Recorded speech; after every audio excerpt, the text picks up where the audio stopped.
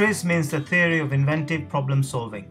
It provides problem definition and solution tools to help your staff innovate regardless of their status. There are three principles of TRIZ. 1. There are ideal solutions to complex problems. 2.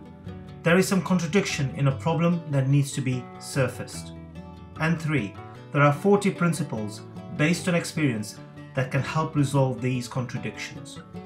These TRIZ cards have been designed specifically for service sector innovation. The cards have been based on insight and thinking from academics and practitioners in TRIZ. We have real life examples of innovation in these cards. Along with the 40 innovation cards, we have 5 service type cards to best target the area of innovation. These are 1. Self-service, asking the customers to take on the role of the producer. 2. Around service, manipulating tangible elements of the service. 3. Bundle service, combining multiple services into a single package. And 4.